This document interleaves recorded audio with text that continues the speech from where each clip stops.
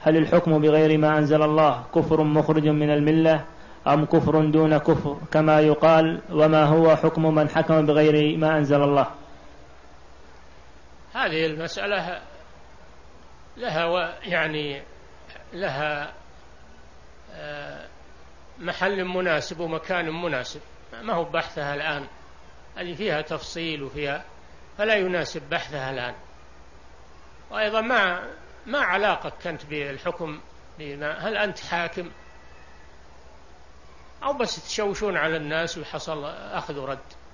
المسائل العامة هذه ما تلقى على الناس عموما. هذه تلقى في أوقات معينة وحالات معينة وعند أهل الاختصاص بها. نعم.